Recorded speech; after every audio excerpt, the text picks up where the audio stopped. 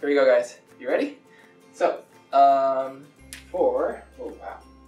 All right. So for this one, first one, um, first one, we know the capacitor is not charged, so that means that this technically, okay, I drew positive and negative, but technically at t is equal to zero, they're not charged yet. The electrons have just the electron will just will just be leaving and just arriving. So the voltage across it is zero volts. Okay. And then the voltage across a resistor A, we use the loop rule, which is um, if you go through any complete loop, the sum of all the voltages must equal the battery voltage, because the battery is what's causing the is what's creating the potential difference. So the capacitor has zero volts across it because it's not charged yet, and then you're back at the battery. So this resistor must be you can think of it as like eating up voltage. So in this loop, this resistor must be the only thing, well, it's the only thing that can eat up all 24 volts. So there's 24 volts across A. And then you can use loop rule again for resistor B, because if you go to this loop, um, there's no current going through B, because we know that the capacitor is like a closed switch, infinite, infinitely, infinitely no resistance, only at this moment in time. Okay, so no current through B, so zero amps, and no voltage. Well, zero zero voltage across B as well, because we know A is 24, because of this loop rule. So zero volts, zero volts, zero amps. Okay, any questions? Feel free to ask me down below in the comments. Um, yeah, okay. So now current at A. Well, we can just do Ohm's law. I is equal delta V is equal to R, transform that. I is equal to delta V divided by R. So 24 volts divided by 4 ohms is 6. 24 divided by 6. I mean, no. 24 divided by 4. Yeah, 6. So 6 amps. And then the capacitor is in series with it, so 6 amps. Um, pretty much the rule is you don't want to use Ohm's law. You don't want to use those equations for the capacitor itself. Uh, you want to figure out the, the capacitor values after you figure out everything around it. Um, from what I've learned, those don't the, the equation doesn't quite apply to the capacitor. Okay, so let's move on. Now, in case two, the capacitor is at 8 volts. So you can just go ahead and throw it in there. Boom. Voltage across A. Alright. Loop rule. Loop. 24 volts due to the battery. This capacitor ate up 8 volts. So it must be 16 volts across A. Boom. Voltage across B. Loop rule again. Uh, this is our loop now. So if we know A has 16 volts that we're eating up, B must have how much? It's 24. 8 volts as well. Okay? So it turns out they have the same voltage across them. Which makes sense, because they you if you look at the loops, they both link back to A. So if A is eating up 16, they both must eat up 8 volts. Alright, now current. So with current, let's see. Um, why don't we just do a current I is equal to delta V over R. We found out that there's a 16 volt voltage across it, divided by the resistance of just A, which is 4. 16 divided by 4 which is 4. So 4 amps. Okay.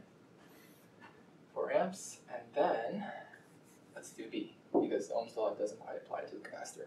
Remember that. So we don't do the capacitor. Let's do B. So I is equal to delta V across B, which is 8 volts. So 8 volts divided by 8 ohms of resistance is 8 divided by 8 is 1, 1 amp. Alright, and now we have the capacitor's current. So 1 amp's going through here, and then at this point A has 4 amps.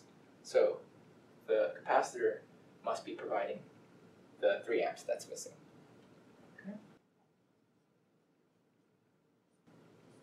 Alright. Cool. Alright, now, last part, case three. Um, well, they tell you that the capacitor is at a constant voltage. It's like an open switch. So we figured out earlier that there's uh, electrons are flowing this way, there's no flow through the capacitor. So we know that the capacitor current is zero, zero amps, just like an open switch. Yeah, open switch, no flow of electrons through. Okay, so then, like I said earlier, this is just like a series circuit. Pretend like this isn't even here. So we can add up the resistance in the series. So four, because they're in series, it's just you, you add them up. So four plus eight is equal to the 12 ohms. And then the potential difference across is 24 volts in total.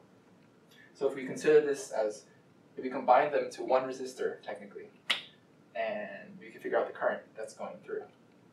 So 24 ohm, uh, 24 volts divided by 12 ohms of resistance is equal to 2 amps. So this battery is pumping out 2 amps of current through the circuit. And because they're in series, and there's no current flowing through the capacitor, then they have the same current going through them. So, 2 amps, 2 amps. At the voltage across them, then you can just do delta V is equal to IR. So, um, I is 2, R for A is 4, so 2 times 4 is 8.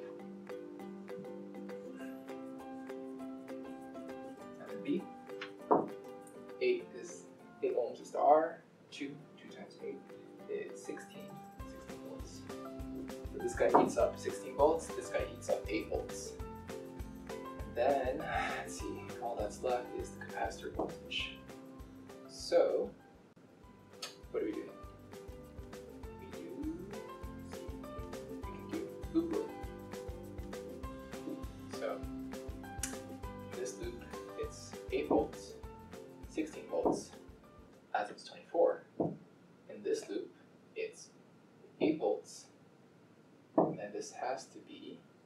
16 volts add to 24.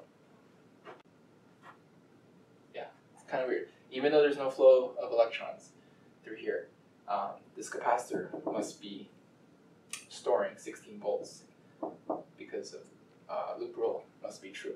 That you go any loop with the battery, you have to add up to the battery's voltage. So 16 volts are eaten up in here, and then 8 volts right here. Okay? Alright, so yeah, that's how you break down this problem. Okay, guys? And then, uh, cool thing, uh, so actually, before we get this off, this is 16 volts. Cool thing I just want to talk about real quickly. There's a switch here where if you open it, something cool happens. If you open it, now this flow is all broken. So I'm going to erase all this.